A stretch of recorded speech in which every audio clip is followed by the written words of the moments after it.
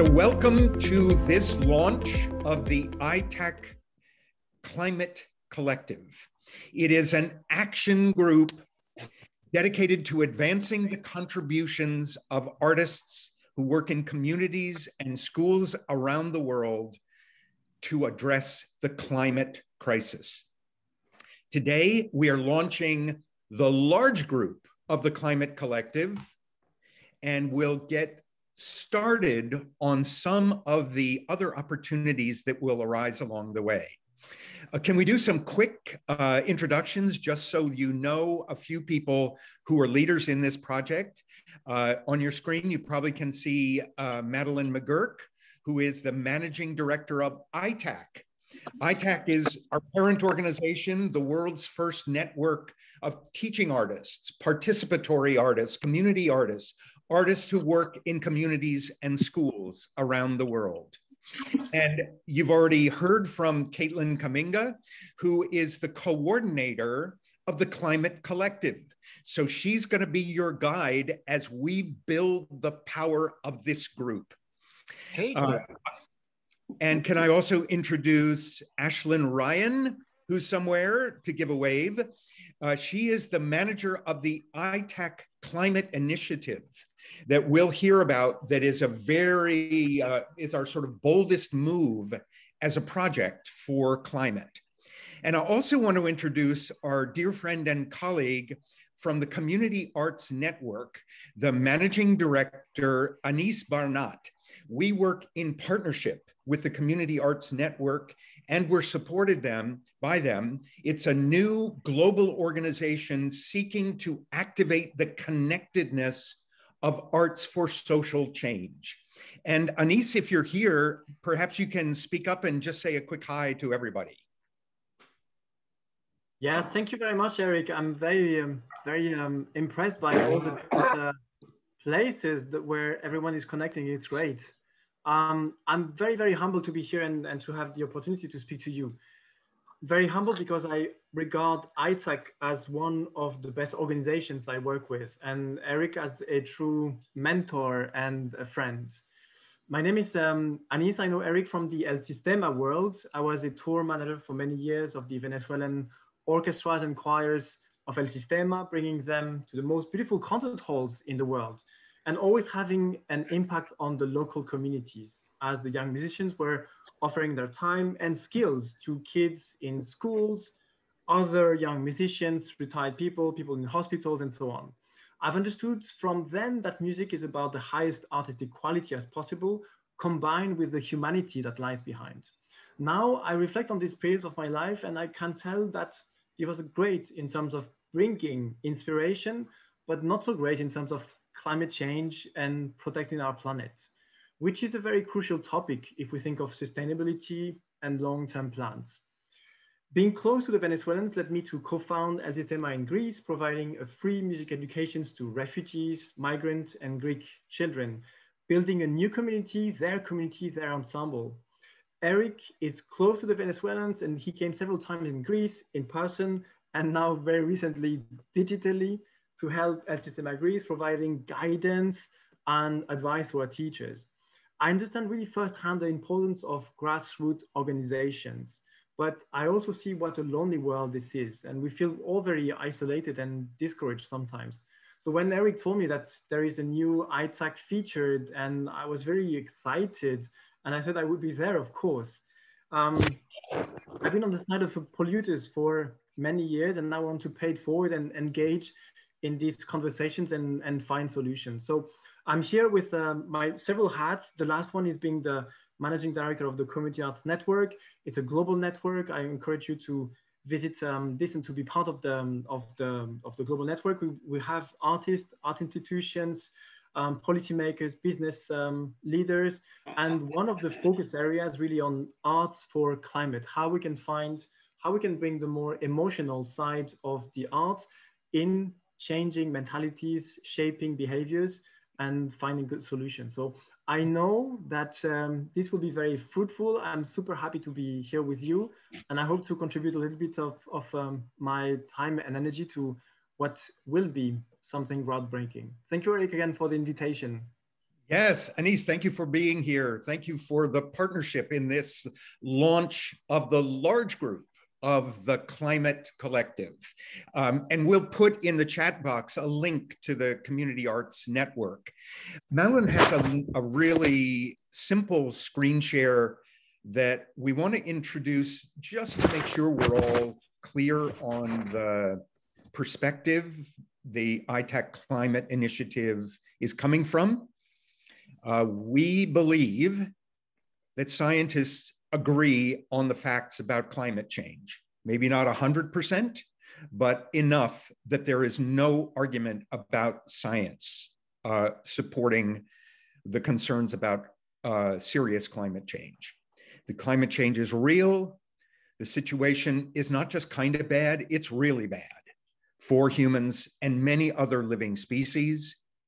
Human activity is the main cause, especially in the current era.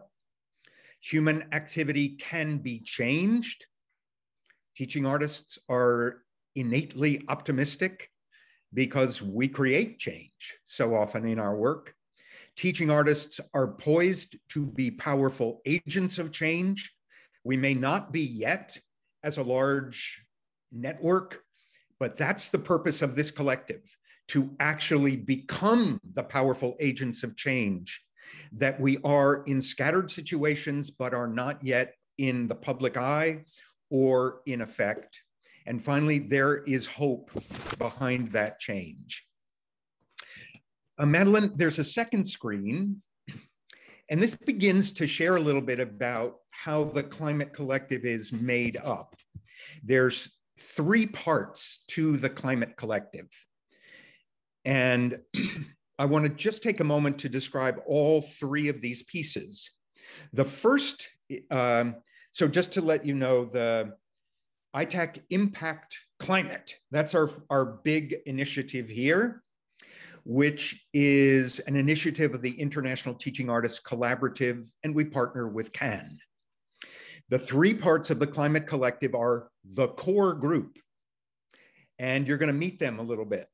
Those are five teaching artists that got commissions. We were able to commission them around the world to undertake, design and lead a project in a local community that not only addresses a local climate issue, but actually sets out to change beliefs and behaviors through the creative engagement. So there are five commissioned teaching artists. We're going to be following their work over the rest of this year. Their work will create models that can be shared in other communities around the world to be adapted and adopted.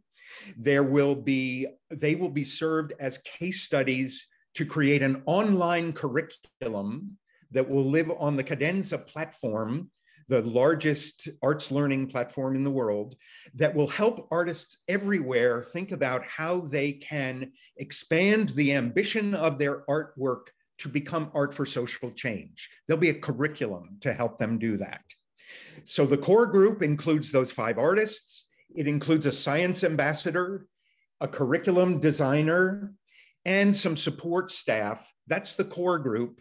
We have a few of them with us here today, and we're going to hear uh, short films from four of those five so you can get a feel for what their projects are. They're going to meet monthly, but today we, lar- we launched that second group, the large group. That's us. We are the starters of this large group. We're going to meet regularly. We don't know what those meetings are going to be like. Caitlin will give us some ideas a little uh, in a little bit, but the idea is this is a self sustaining, passion driven group of participatory artists and others who work with them around the world who believe that by working together, we can become more powerful in our direct influence on climate change. We're going to make this up. We're making it up from scratch. We believe that because it is passion driven, it can become self sustaining, it can find the ways it will be useful, that it can find projects, that it can make resources available, that can stir up funding, that can spawn projects between different participants. but today we launched that group. And the first meeting of that group will be June 9th. We'll send you notice about that.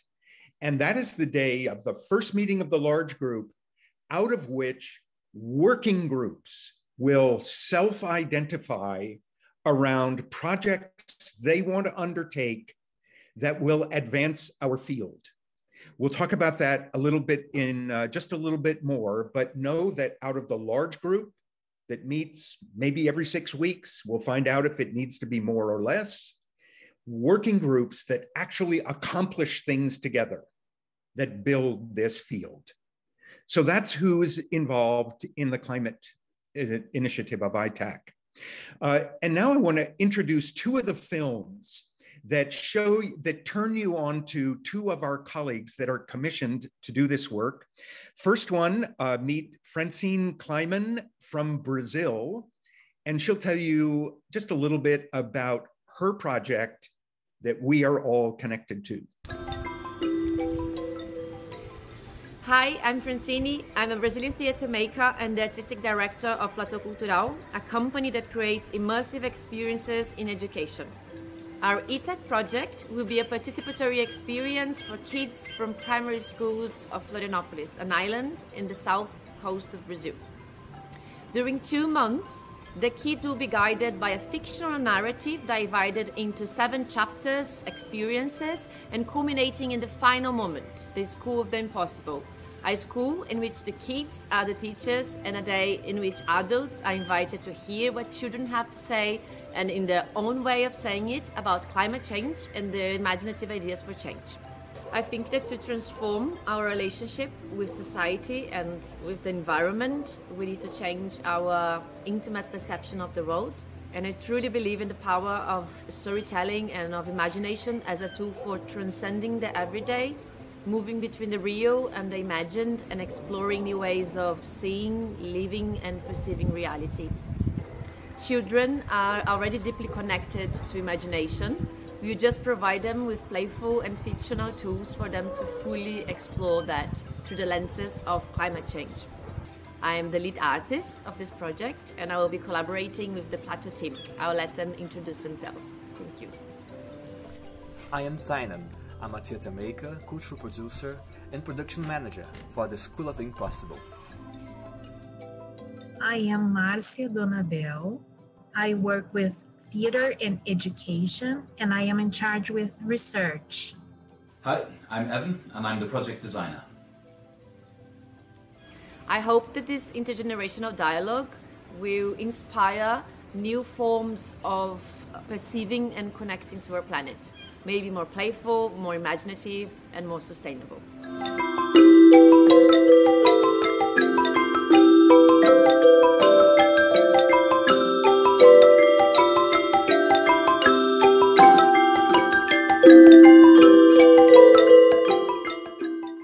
Beautiful. Thank you. And Madeline is going to tee up another film, but just notice the School of the Impossible. The work, their work is focused in Brazil, elementary schools. And the piece I love the most that the young kids become the teachers of the adults about the issues of climate that are affecting their lives. Boy, that is teaching artist thinking. And now meet Rachel Jacobs from Australia. Hello everyone, I'm Rachel Jacobs. I use she, her pronouns, and I'm sitting here in Darug land in the Eora Nation, which you know is Western Sydney in Australia. I acknowledge the elders past, present, and emerging. This land was never ceded. Right now, this land is in trouble. This land is a place where temperatures regularly get up to 45 and 46 degrees Celsius during summertime.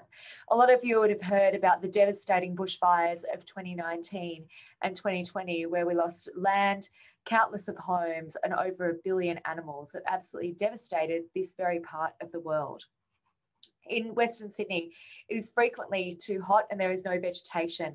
So children find it difficult to go out to play at lunchtime when they're in school. People find it difficult to travel to work. And of course, as we know, the climate crisis hits vulnerable people first. This is one of the poorest areas in Australia, and it's going to be one of the areas hardest hit by climate change. So, what are we going to do about it? Let me tell you about the Heat Festival.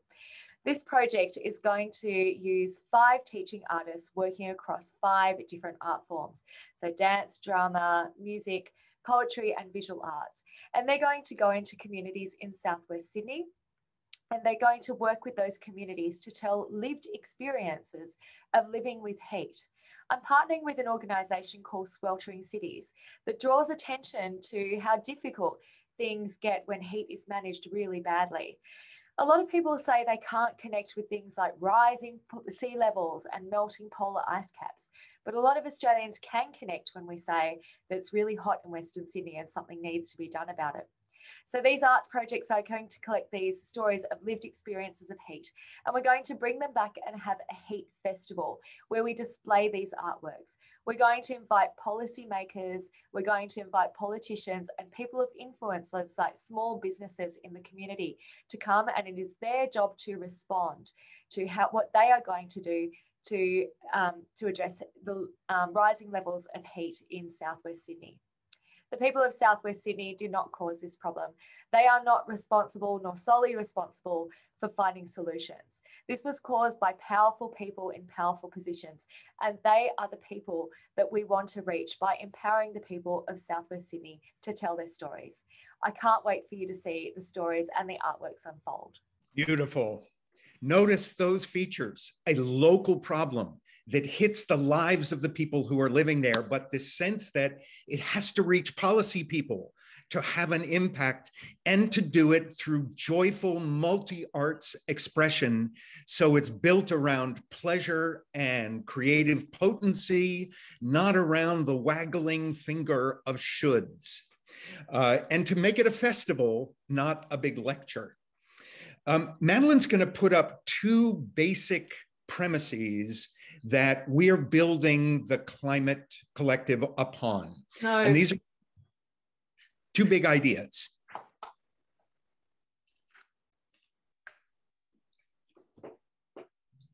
Oh, two seconds. I'm going to copy and paste them into the chat in just a wee second.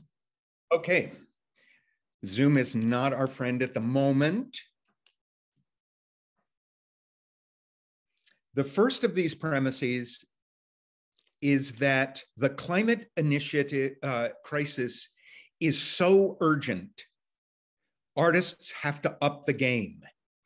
It is wonderful that there are artists all over the world making powerful artworks that address climate issues. Thank God for that. It's beautiful work. I'm glad it's everywhere. And the Climate Collective says we have to go further we actually have to go all the way to aiming for change in belief and behavior. The crisis is too urgent to have a ripple effect that is hopeful. We have to press all the way toward actually making change. We are going to document our change so that the models come with data that supports the kind of impact one can expect. But just to note, this is different than we normally think of artisan climate change, which is making artworks that powerfully raise the issues. This reaches further. And the second premise is one about building a network. The second premise is if we we aren't a network yet, we're a completely fragmented, passionate, urgent field but there's no there there for participatory artists. And we believe that if we can accomplish things together that make a difference, then we gather confidence that in fact we are a network, we gain visibility, and eventually we make the case for funding to, as recognized contributors to climate action. So, our hypothesis here is that if we start to become effective, hold our feet to the fire of accountability, and show what we know to be true that in fact we do make a change in belief and behavior, we can then make a significant and sustainable and paid contribution. And we have to get ourselves to that point, and that is the work of the Climate Collective. If you start to have responses or thoughts uh, or questions, you can throw them in the chat box. I have never learned how to talk and read at the same time. I, I know a lot of teachers can do that. Uh, I'm an old white male, so I can't do that. But we have the help of Caitlin and Madeline and maybe others. Uh, so if you have a, a, comment or a question, we invite them to go into the chat box while we meet a third commission teaching artist, uh, Raz Salvarita and a project he has already launched. It's underway already in just a couple of weeks uh, from the Philippines. Climate change is real. Climate change cannot be denied that it's affecting all aspects of the ways of the worlds that we know. In my country, the Philippines, we are in the midst of the danger zones, being part of the Ring of Fire and inclusion of the superhighway of super typhoons. Because the climate is changing, we, the people, must change the climate of our own beings. Our ways of living, our ways of interacting with each other with kindness, our ways of innovating for a sustainable planet.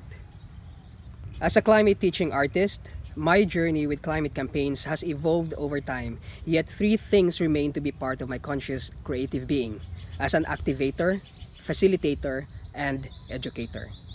Being part of ITAC Impact, Climate Change Fellowship. My vision is to work with selected farm and coastal community members of my local community, the most vulnerable group and yet the highly valued economic force for agriculture and food security. The theme will be effective climate consciousness through performance installation art. One of the engagements would be to conduct a focus group discussion to be able to understand and gain traditional knowledge that's intrinsic within this most highly sensitive beings in connection to their natural work ecosystems.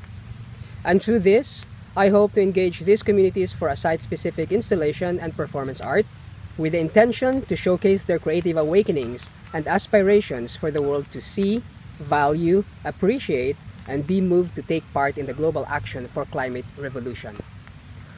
All throughout this journey, I will be working on a performative documentary where I'll conduct a day in the life of a certain fisherfolk or farmer. In addition, I will highlight activities dedicated for women farm folks on how they feel climate change within their own climate in their bodies, being natural nurturer, reflecting Mother Nature's ways. As my former professor said, environmental problems are emotional, environmental solutions are technical, and environmental decisions are political. May this creative immersion will result to a multitude of creative emergents, local champions for climate campaigns, activators, facilitators, educators, artists to help heighten climate consciousness and work to a better, healthy, and sustainable world we live in. My name is Raz Salvarita, your climate teaching fellow from the Philippines. Beautiful, inspiring. And just to note, um, he's creating focus groups for surfacing what people know. He's focusing on the environment of the own human body. It isn't just a problem out there. He's saying it's a problem in here. And he's also using a train the trainer model where those women farmers will become the advocates and the developers of the work in the communities he's working in. Uh, beautiful project. I, I, noticed we had a comment in the chat box. And Ashlyn, I wonder if you might introduce uh, who our science ambassador is going to be for our initiative.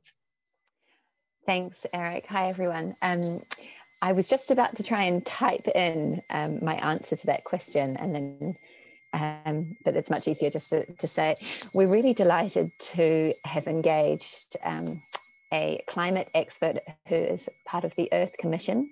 Um, her name is Diana Liverman. Um, she has an incredible uh, CV. Those of you here in the UK, um, you might be familiar with that organisation. Um, so we are still finalising our details with exactly how she will engage um, with this initiative. Uh, obviously, there'll be some work with the artists individually and as a group, and we really hope to be able to bring her into this collective as well. Um, so we'll have a lot more information to share on that um, in the hopefully in the next meeting. Um, but yeah, it's a, it's a really wonderful um, coup to have such an expert involved in this initiative. Thanks. Thank you, Ashlyn. So just a reminder of where we're at. So we're we're launching this large group today that will meet regularly, guided by Caitlin, to find out what's gonna what's gonna work for them. What um, what can that group do and be together that sustains its own momentum because it does stuff and isn't just about talk. We're imagining it might meet on a six weekly cycle, but it may need to be more or less than that. And in a moment, we're going to start talking about a key idea of that group, which is working group projects that emerge from that large group. Where our hope is that individuals from that group will say, you know, there's a thing I can imagine doing that would really build this field. A few other colleagues, will you join me in this project? I figure it'll take maybe six weeks and we'll find a little bit of time between us and we will create this foundational resource for the field. We hope a number of the projects will arise and we will, the June 9th meeting will be where that process starts. But I thought I'd let you know that this isn't just wishful thinking. This isn't just, a, oh, wouldn't it be nice if people got together and did some things? Uh, this has actually worked. Uh, I was involved in building the teaching artist field in the US. Big field, but disorganized, uh, not well um, coordinated in our activities. We said we can do much better if we get working groups to start producing tools that build this field. And I want to introduce three of those tools just to give you a sense of what can happen from volunteer artists working together on their own. Uh, the first one I want to introduce was is called the Teaching Artist Manifesto. We never even had a definition of who we are and what we do really hard to become a powerful group if you can't describe who you are and what you do. So, a group of teaching artists took a long time to wordsmith agreement for what this field is, what it does, and then to, to double check it with all the different parts of our field with people who call themselves community artists, with artists who do different kinds of work. And they finally came to agreement for this manifesto that is used widely to introduce people to what teaching artistry is and to let them have a sense of we are a field. A second project, this addressed the fact that teaching artists were paid differently all around the US Nobody knew how much they were getting paid. It was like a big secret. And this allowed employers to underpay them. So, a group of volunteer teaching artists said, let's gather information about how much teaching artists are paid. And they created the Teaching Artist Pay Rate Calculator. And this tool is now used across the US for local conversations about how much teaching artists should be paid. It's calibrated for different cost of living in different parts of the country, but they can now go to employers and say, hey, look, by comparison, other communities like ours pay this much, and we have regular report that it has raised the pay rates of teaching artists in different areas. And one final project that became a big one. It started as a volunteer working group that said, we don't know where the teaching artists are. We don't know who they are. We don't know where they are. We don't know who hires them. We don't know where you can get training. So they created the teaching artist asset map, which is a map where individual teaching artists say, I live here, here's what I do, here's a little bit about me. And here's an organization that hires teaching artists in my area. And even here's some places you can get training. The Teaching Artist Asset Map, and there's the link to it, has gone global. So I hope everyone on this call put yourself on the map. Doesn't cost anything, only takes about five minutes, but it begins to make visible the size and potential impact of this field. So those are some possible projects. In a minute, we're going to talk more about those projects. Uh, can I invite you to throw into the chat box any networks that you know of that might be good models for us? Because we're just starting to build this network. Are there networks you know of, of disconnected practitioners who actually have found a way to be powerful together? We want to study those networks so that this large group can become a powerful network. Uh, put any of those suggestions in the chat box. I see they're coming. And uh, while we're doing that, we have a fourth film to share with you. This is from Diana Milosevic in Serbia.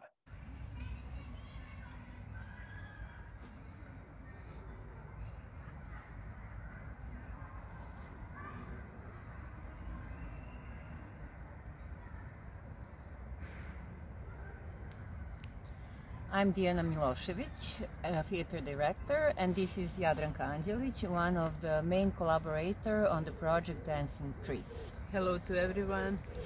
Uh, the project Dancing Trees started from our need to address the topic of the cutting of the trees and deforestation that is extensively happening in our city because of the profit in our country and all around the world. And this action actually uh, causes the big climate changes and uh, it could really ruin the life in the cities and in the planet. And right now we are in Botanical Garden. This is really a little oasis of nature in the city and we would like to raise awareness uh, about the importance of the trees for the lives in our communities. So we are creating uh, extensive and long-lasting project that includes uh, dance theater performance, dancing trees, conversations after the performance in order to hear our audience, which are the citizens of the city, about their perception of this problem, roundtables with uh, experts, activists, and uh, citizens, and together, all together, in order to learn more about the relation between politics, economy, and ecology. And uh, digital platform that include various forms and uh, website, which will be the meeting place between the, the people, the activists, experts, artists, an exchange place where we expect to raise, to generate new ideas about the uh, future activities, future projects uh, in, in, uh, in relation to the problem we are, we are dealing and one of the main goals of this project is really to influence the beliefs of the members of our communities because usually we treat trees as the commodity, as the furniture, and we would like really to raise awareness about the importance of trees as living entities.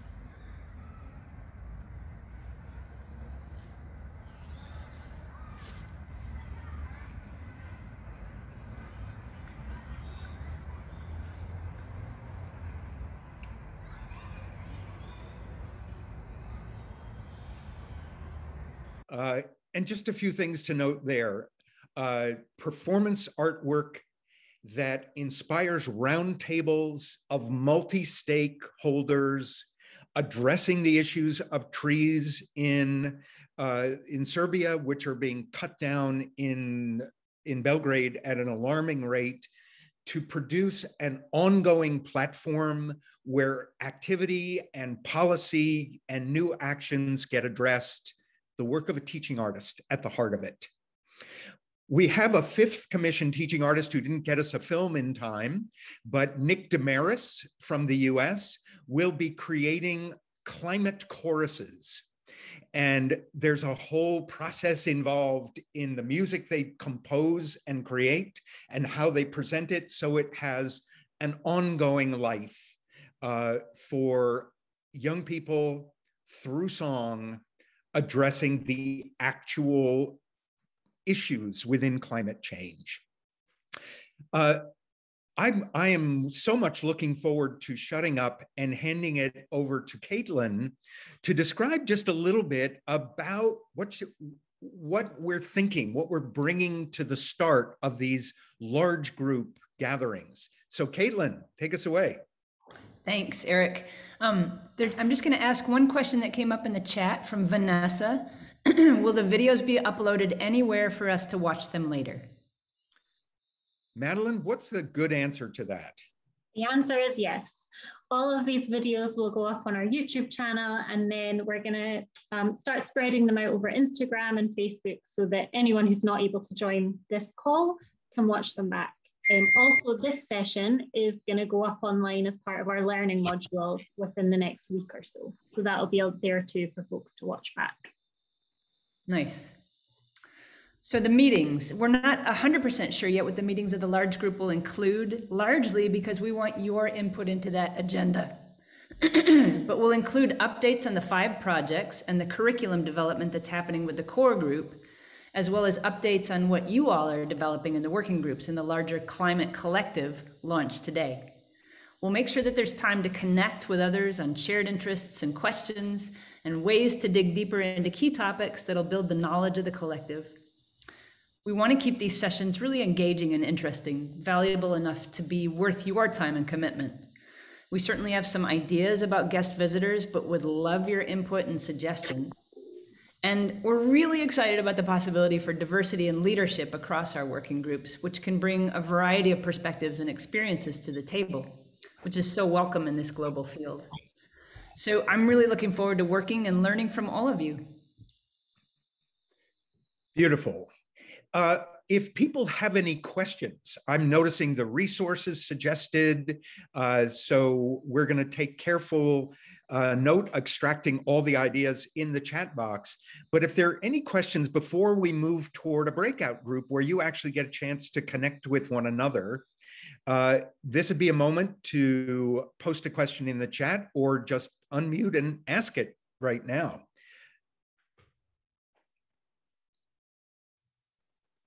There's Francine, one of our commission teaching artists in the chat box. All right. Oh, I was just looking back, Eric, to see if there were any uh, good yeah. questions. There's uh, several about um, artistic projects, and I wondered if you wanted to just um, talk a little bit about building the field. Yeah, and there uh, we don't exactly know how to take advantage of this abundance of work. Uh, and I'll just mention the re, the launch, the idea for this collective, it came from our request for proposals for the five commissioned teaching artist projects. We put out this proposal, uh, this request for proposals. We only had a short window of two weeks. We sent it out in our somewhat random way, not knowing how many responses would come back. And we were overwhelmed with over 90 proposed responses from around the world. And when we had to break the sad news to many artists that your project hadn't been selected, many of them said, How do I stay involved in this idea? How can I continue to contribute? And we recognize there is a pool of passionate energy to be tapped. And that's what we're trying to tap with this. Much of that work is going into creating environmentally powerful artworks around the world. Through this initiative, we hope we can make them more visible.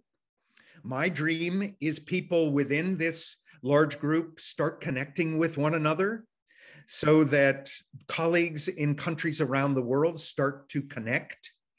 I will say we're thinking hard about how to adjust the hours of meetings to include our friends in Asia so they don't have to stay up all night just to say hi to everybody else. Uh, but there's the sense that artists who care about this work need to be connected. They need to share their work. They need to connect to one another to find resources and ideas together. And this is the this is the place we want to make that happen. So uh, we want to make the work more visible within the arts and definitely beyond the arts. As that comment in the chat box said, we got to start connecting to the scientists, to the policy people, to the business foundations. That's the work of this initiative. Uh, let's uh, let's let you talk to each other a little bit. You've been very patient and generous with your attention. So we're going to have uh, a breakout group that runs about 20 minutes. And you're going to be with a small number, uh, about seven colleagues. And we want to ask you, of course, to do some work for us. The first few minutes, just introduce yourselves, but don't get carried away. Try to keep the introduction section to maybe just five minutes instead of falling in love with each other during this first breakout, we can postpone that till later. We want to ask you to come up with ideas as a group and post them for us in two Google Docs we're going to give you access to. And here are the two questions we would like you to address as a group of colleagues that are just meeting and put your best ideas in this Google Doc to help us get off to a good start. The first question and there'll be a separate Google Doc for this. What are ways we can get this network off to a good start? What, how can we get this new network, this large group that we want to have be self-sustaining out of interest and a sense of success, how do we get it off to a good start? There'll be a Google Doc for your you one maybe one generous person in your group can type in while you're meeting because you can have the google doc open while you're talking. Maybe one person will put some ideas in there. And caitlin that second question. The second question i have to get my engaging voice on right after eric. That second question is what are some possible good projects for working groups to take on? And just a few words about these working groups uh, they'll be self managing. Each one needs a leader or leaders to take responsibility to manage the process to completion. On June 9th, we'll propose projects and you can sign up and join right then. Um, but let's just think a little bit about the kinds of projects we're looking for. Each of these projects needs a specific goal that is, as Eric says, Goldilocks sized. Ambitious enough to create something that's clearly valuable exciting enough for people who want to work on and create, and at the same time be achievable enough that the group can manage the commitment and see it through to com- uh, completion. Valuable and achievable. My role with the collective is to schedule our meetings and to co design our agendas with you and to oversee the completion of projects, but I'm not there to manage your groups. These need to be largely autonomous. Eric, did you want to give a few examples? Um, just to sort of plant some seeds of thinking, about projects that had occurred to me that might be Goldilocks sized and I know would be valuable to our emerging field. One, for example, um, whenever I try to talk about this collective, I start sounding kind of like a babbling idiot after a few minutes of verbiage talk up in the air. We don't have succinct case studies of effective projects that have changed belief and behavior. How valuable it would be if a working group could go find five case studies and write them up into short, succinct descriptions so all of us could have top of mind examples that knock people's socks off. Boy, that'd be a beautiful working group project. Do the research, pull it together for the rest of us. Another one might be I mean, we're sort of casual in saying we know what it takes to change people's beliefs and behaviors. Wouldn't it be great to have a working group go find out what psychologists know about what it takes to change people's beliefs and behaviors? So we aren't overclaiming or we aren't misdirecting. A beautiful project for a working group would be to pull together in a useful way a summary of what psychology says we should be focusing on if we indeed want to change beliefs and behaviors. Uh, what about a short glossary and frequently asked questions for teaching artists who work with climate issues? What are the few key things you really need to know?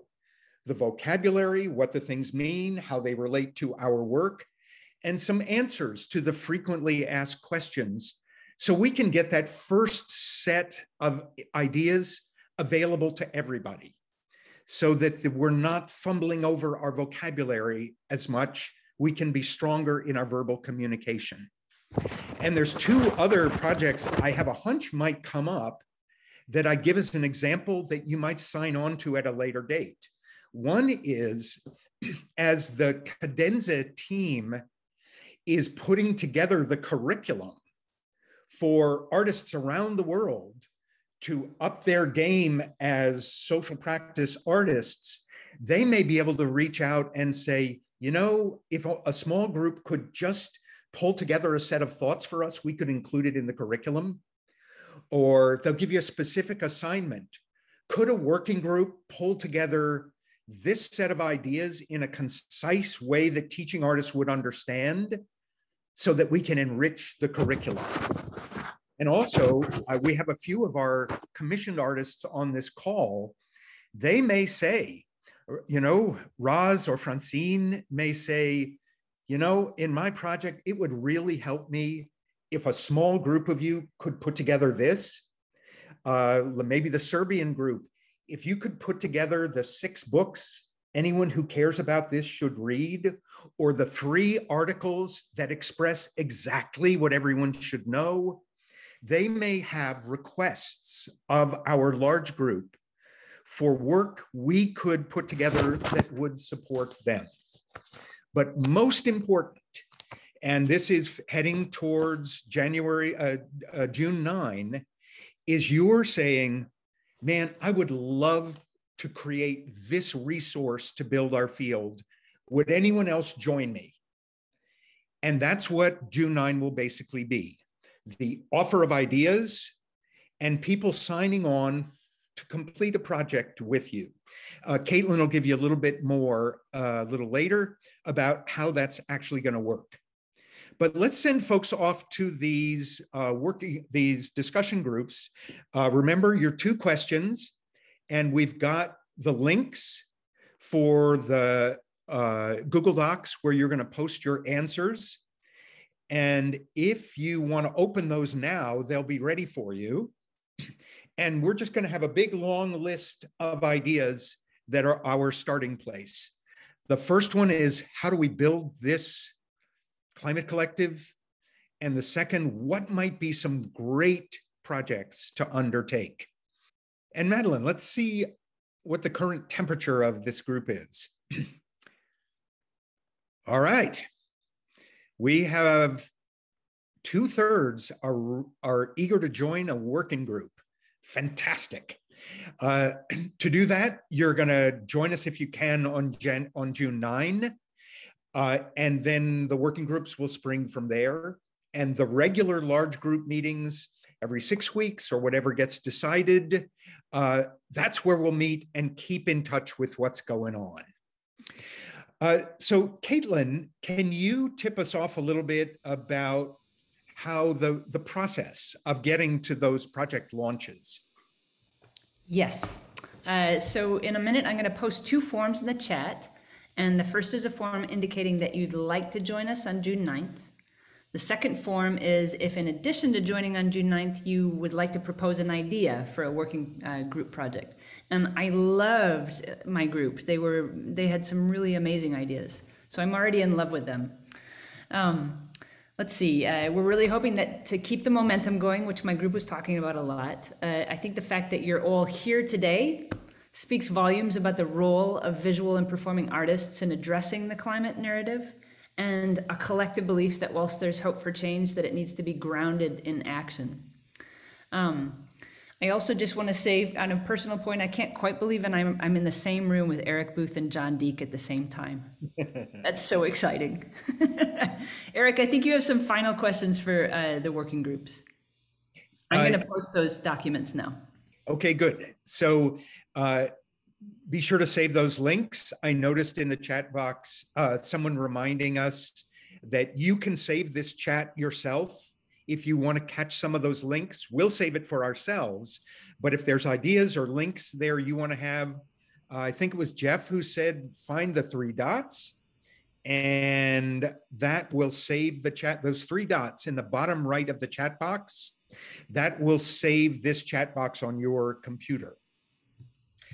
Um, let's see, what, I don't think I have any more specific information to share. Uh, we have a couple of minutes if you have questions uh, or uh, something you think is important for the whole group to hear in this first grappling with the possibility. Anyone, feel free to uh, put a question in the chat box or just unmute if you've got something that must be said. Hi, Eric. This is Beata. Hi, John and everyone. I just wanted to share what Jean uh, mentioned in our group about within these groups that to keep it creative, since most of us we're all creative, that the process doesn't have to be um, the process itself can be like creative that even if you might be working on policy or psychology whatever like it can start off with a creative activity and people can switch off so that it's because i feel like um, you know this can be overwhelming there's a lot of steps but we can still make it work for us in keeping everything creative. Good reminder. I Thank you, Beata. said that correctly. Thank you. Uh, one little note I was going to add at the end, but that's a perfect segue for uh, earlier today, I was in a conversation with two colleagues um, outside of the teaching artist field who didn't really know about teaching artists. And they really wanted to get a sense of like, what is it that teaching artists add? You know, we've got all these artworks and we've got we've got this art connection to community, uh, to uh, to climate concern. What is the distinctive piece that teaching artists add? And the answer that came to me was the reminder: the number one goal of a teaching artist is is the capacity to activate the artistry of other people. And when that capacity is activated, it is so universal and so powerful. Its energy can be channeled in many different directions. One of those directions is attending to the impact of climate change on our lives. So it is their artistry, their wish to make stuff they care about, that then gets guided into change that addresses the climate challenge. Other thoughts? Um, let's see. Lee Jones, Lee is asking how to reconnect with those in your breakout group. Wow. Madeline, how do they do that one? I would say the best way this chat has the ability to private message each other. And I think you could private message um, each other your email address. You could drop it in the chat if you're open to everyone staying in touch with you. Um, there is no record of who was in which group when. So it's one of those self-starter situations that the chat on the right-hand side can be saved. So if you hit the three dots and hit save, you will have access to everything that's been written, including any email addresses that get dropped there. Uh, I I have a question. Um, my name is Maureen Heffernan. I'm from New Jersey. And um, uh, Eric Booth, a long time ago, called me a lifer, and I am more than a lifer. but um, I mentioned in our group and would be very interested as we look at cultures that um, have preserved things, we often look at um, what they might be called wisdom councils. And I noticed that there may be other people in here that are in the second, the, the act three of their time as teaching artists. And I wonder if there's a place for people to come together and um, gather some of the oral testimonies of other social justice issues and climate discussions that have happened to sort of as we save that because as that knowledge as that knowledge moves on we want to make sure that that some people have access to it. So that's something that I would be interested in working with other people that want to do that. So beautiful, Maureen. That is exactly what the launch of a working group sounds like, which is there is this pool of knowledge that we can tap that serves us and the working group finds out a way to help us all gain access to that. So beautiful suggestion. And I'll just note one climate project I'm working on in the state of Vermont. That's one of our efforts uh, that we have a, uh, a native elder who is guiding conversations around the state that are about social change and long knowledge from the Abenaki tribe. Mm. Uh, okay. Uh, we, we have just another couple of minutes here. We're vamping so people can have a, a furious dating exchange in the chat box. You can do it either by private. People are seem to already be past the private part and say, any of you, it's okay, contact me. And we will feel free to contact the emails of this group with further information. You gave us your permission, and we don't ever want to overstep our bounds, but to keep you up to date on things that are already coming up in the chat, alternative times people can join, how do we accommodate people in other time zones, all of that to be worked out. Thank you, Caitlin.